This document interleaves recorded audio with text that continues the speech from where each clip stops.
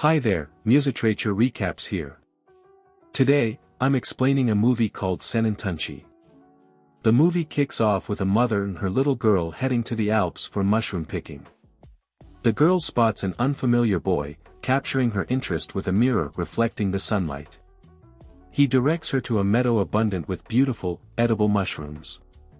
In the same spot, the child stumbles upon a human skeleton, letting out a horrified scream as she realizes she's standing on someone's grave. Shortly after, the police arrive at the scene, presenting a photo of people who went missing in the area. The girl identifies the boy as Albert, who vanished in 1975. The officer dismisses the possibility, suggesting the girl saw a ghost, but the mother disagrees. She decides to recount a tale from 30 years ago, a narrative that could shake even the most skeptical minds. In the Alpine mountain village of 1975, local police sheriff Sebastian Reusch rushes to the church, discovering a priest hanging from the church tower.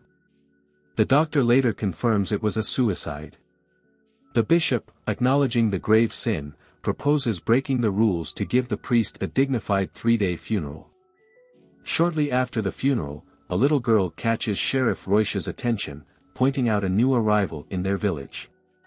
The girl looks distressed and in need of assistance. Reusch helps the stranger, bringing her first to Dr. Zing's station. The girl, showing interest in her rescuer, attempts to kiss him.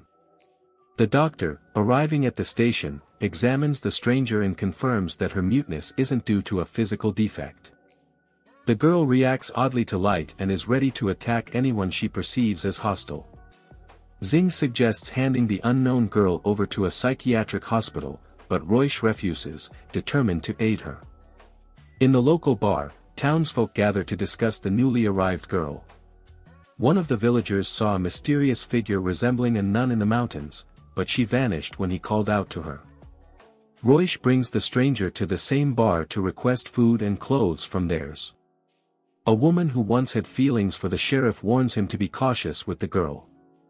She sees it as no coincidence that the stranger arrived right after the priest's suicide. There's also discovered a toy carved by Albert, a shepherd in the mountains, suspecting something might have happened to him. The villagers grow more hostile towards the girl, suspecting her involvement in the village's unsettling events. Unhappy with her walking free, they urge Reusch to send her to jail. The sheriff faces the challenge of ensuring the girl's safety, leading him to decide to lock her in a cell. While Reusch believes the girl is innocent, he needs to unravel the mystery. Heading to Mount Thistle, the policeman checks the shepherd's house and discovers it's empty. Animals and weapons are gone, indicating that Albert and Erwin likely went hunting. Unaware that someone in the house needs help, Reusch descends the mountain and reassures the locals before returning to the station. There, he encounters a bishop attempting to expel the devil from the girl using a crucifix. Her strong reaction to the cross seems to confirm the clergyman's claims.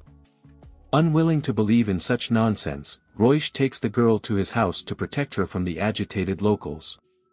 After taking a few photos, he plans to locate the missing stranger, speculating that she may be suffering from amnesia. Although unable to speak or write, the girl draws a cross, hinting at what might have happened to her. The next morning, volunteer Martin arrives in the village to assist Erwin and his new nephew Albert, who lost his parents in an avalanche. Martin, unaccustomed to mountain climbs, struggles with the ascent and has difficulty embracing the local cuisine. Meanwhile, the stranger takes care of Reusch, bringing him coffee in bed and expressing sympathy. Learning about the sheriff's unfulfilled dream of being Theirs' as husband, she empathizes. The stranger replaces Theirs' face with her photo, displaying sincerity in her feelings. The mute Albert informs his uncle about a lynx attacking their goat. Erwin, armed with a gun, rushes to help, but the elusive animal escapes, leaving the livestock injured. Martin, a former city doctor's assistant, recognizes the damaged respiratory artery in the suffering sheep.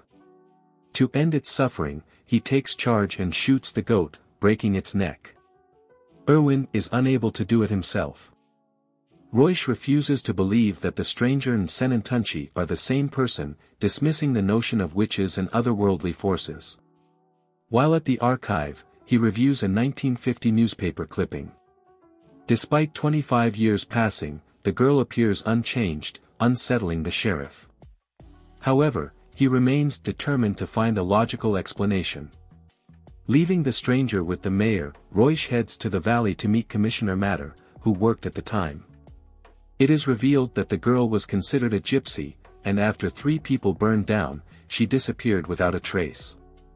Meanwhile, a stranger constructs a man-shaped figure using chains and shoes, catching the mayor's attention. Nader, preoccupied with work, shows no interest. Seizing the opportunity, the bishop attacks the girl, attempting to expel the devil and end the vessel containing him. The mayor intervenes in time, protecting the girl from the bishop, who frightens her away. The stranger seeks refuge in There's bar, but the pregnant woman believes her to be Sennentuntschi. There's, feeling threatened, uses bread with a drawn cross to check for aggression. Martin, Irwin, and Albert, seeking relaxation, consume strong alcohol. Feeling the need for entertainment, they decide to create Sennentuntschi, a doll made of a broom, rags, and hay, believed to come to life and fulfill any desires of its creator. Erwin shares the legend that in 1953, shepherds had already summoned Sennentuntschi, who not only cooked but also brought happiness and pleasure to men. Pronouncing the spell and performing the ritual, the trio summons Sennentuntschi and, in their drunken delirium, envisions a girl made of straw before them. Reusch returns to the village and discovers that theirs has lost her child. Blaming the girl for the tragedy, there's believes she is a witch or the embodiment of the devil. On the morning of Nader and There's baby's funeral, the bishop turns the villagers against the girl, claiming she is the devil's incarnation and responsible for the baby's fate. To support his theory, the clergyman presents an article and a photograph from 25 years ago featuring a young gypsy woman resembling the girl. Albert wakes up in the morning, startled to find a girl in their house. Unaware that she's the stranger who fled the village, he assumes she's the Sennentuntschi summoned the previous night. Martin and Erwin are equally shocked and attempt to befriend the shy, wild, and cautious stranger. Martin realizes the girl is genuinely real and suggests going to the village to report her before the police arrive. Initially agreeing, Erwin later observes the girl's strange behavior and lack of understanding. Seducing her and taking her away, Erwin remains unaware that Albert is witnessing the unfolding events. Meanwhile, Reusch contacts the former sheriff and discovers that he passed away due to a heart attack. Shortly after, he receives information from the city, stating that Martin is a wanted criminal who took his girlfriend's life. Simultaneously, Martin proposes to Erwin to release the stranger so she can return to the village. Erwin opposes this idea, so Martin suggests the girl run away when Erwin is occupied. Noticing the girl's absence, Erwin pursues the couple, leaving Albert with a gun to guard the house. The girl, fearing a return to the village, escapes. Martin catches her, and they try to evade Erwin, who is in pursuit. Seizing the opportunity, Martin grabs the girl and returns to the shepherd's house. He playfully startles Albert, prompting him to accidentally shoot, and Erwin hastily retreats up the mountain. Realizing they can share the girl, the men decide to keep her. In the evening, they gather around a fire, and Erwin reveals that he is Albert's biological father. Believing the stranger could be his first girlfriend, Erwin is excited. However, Albert, frightened, hides in the barn, unsure of how to handle the situation. The men continue drinking and bring the girl into the house for a threesome. At one point, she attempts to resist and bites Martin's hand, but it doesn't lead to any positive outcome. During the night, while the men are asleep, the girl escapes, armed with a knife that might help her deal with the offenders. Reusch is awakened by a knock on the door and finds a frightened stranger seeking his help. Recognizing that he's her only hope, the sheriff decides to take the girl to another city. On their way, villagers block the road with a truck, causing Reusch to have an accident. Although the girl manages to escape, the sheriff is beaten by the mayor and others who are convinced that she is Sennentuntschi. Early in the morning, Albert tries to wake up Erwin and Martin to show them a gruesome scene. In the barn, the men discover gutted animal carcasses, realizing that the girl is not only dangerous but also very cruel. Unaware that she is hiding in the same barn, Erwin goes hunting for the stranger. Martin decides to help her and locks the girl in a nearby building, promising to release her as soon as the shepherd leaves to find her. Returning home, Royce notices a specific church symbol in the form of a cross on the wall. Recalling the drawing of the girl, he realizes that they are identical, and it's not without reason. Armed with a revolver, the sheriff goes to the church and discovers a secret passage to the basement, where the stranger had been living all this time. Meanwhile, Martin's condition worsens due to the bite, leading to a blood infection. Erwin suggests going to the village for medical help, but Martin refuses, confessing to a terrible crime. In an effort to assist Martin, the shepherd asks Albert to fetch a bottle of alcohol. Albert heads to the shed where the girl is held, and fearing for her safety, she strikes him on the head as soon as he enters. Erwin spots the girl in the barn and, after blocking the door, attempts to set it on fire. The stranger escapes through a hole in the roof, but Albert remains trapped. Realizing his mistake, Erwin saves his son. Albert speaks, addressing him as dad for the first time before falling into eternal sleep. Distraught and seeing the girl outside the window, Erwin attacks her, striking her on the head with a stool. Royce meets with the bishop and arrests him for the crimes he committed. The sheriff realizes that the gypsy woman in the 25-year-old photo was the mother of the girl, held captive by the priest.